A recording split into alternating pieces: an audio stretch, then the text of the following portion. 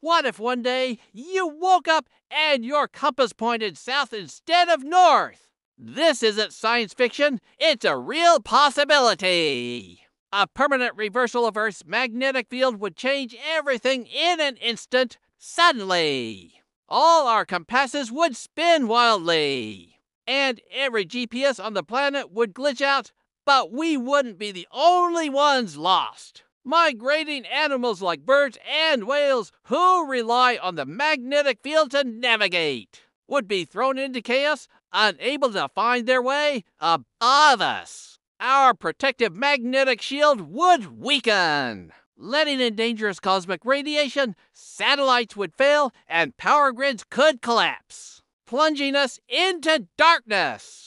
In a race against time, scientists would rush to build massive magnetic shields over our cities.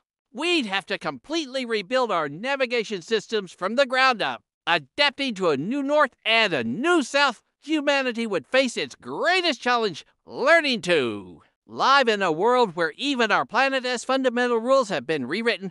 Thanks for watching. And don't forget to subscribe for more what if scenarios.